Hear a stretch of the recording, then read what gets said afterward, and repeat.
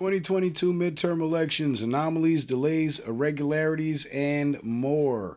And you guys really, you guys really did a great job tonight supporting the show, and I appreciate that. But of course, because of YouTube's uh no truth policy, I had to delete the stream, but the replay is available on Rumble.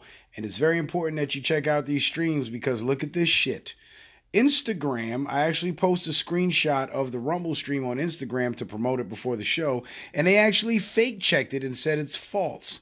So I guess Fetterman's uh uh sub count or or follower count on on Twitter is false, and Dr. Oz's follower count is false as well.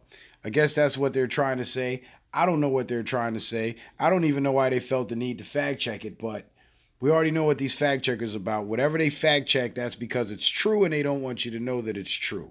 Very simple. So, considering the fact that Instagram, aka Meta, felt the need to fact check my thumbnail, well, that should let you know that the stream is worth a watch. So get over to Rumble and check out the replay. Peace.